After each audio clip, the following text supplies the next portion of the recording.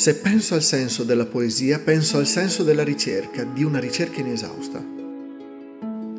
Errare è un modo per cercare il proprio posto nel mondo. Questa è la mia casa, il posto dove ritorno seguendo le briciole che ho disseminato.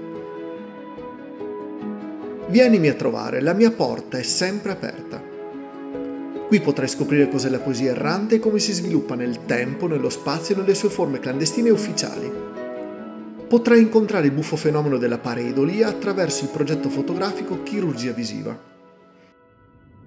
Navigando tra le varie sezioni potrai anche curiosare tra le pubblicazioni la vetrina con i suoi unici lavori d'arte.